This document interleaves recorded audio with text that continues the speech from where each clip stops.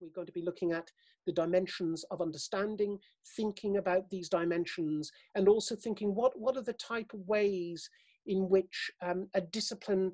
um, constructs itself, is constructed